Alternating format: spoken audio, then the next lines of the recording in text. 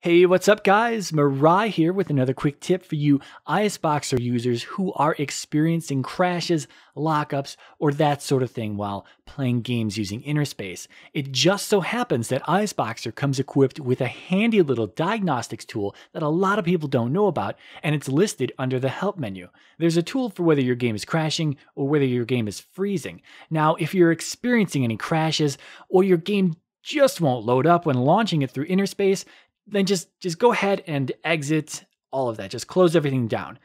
To get this process started, first start the game on your system without using Innerspace. So just start it up like you normally would. Once it's up and running, go into the ISBoxer help menu and run the tool for game crashes. A little dialog box will prompt you to choose the game from a list of running processes on your system, and you'll want to make sure that you choose the game and not some random unrelated process, or else the report will be skewed, which that helps nobody.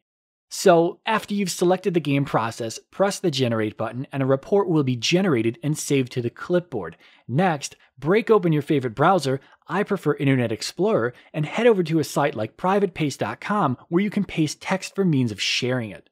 Paste the report from the clipboard, hit save, and the site will do its thing.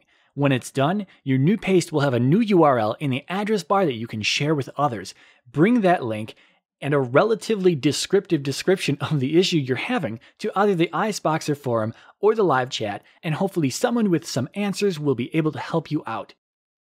Now, if your game is freezing while you're in the middle of gameplay without any sort of crash report, it's just like a, a hard lock.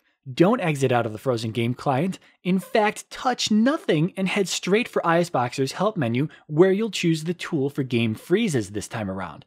Follow the same procedure as before by selecting the frozen game process, but this time you'll be prompted to save a special file that only someone familiar with programming can make sense of.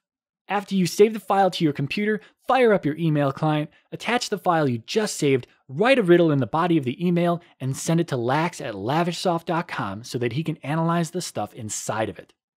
At this point, you can just hang out and wait for him to reply, I guess. And if you happen to have any further questions, comments, or concerns while waiting patiently, please visit the ISBoxer forum or the live chat.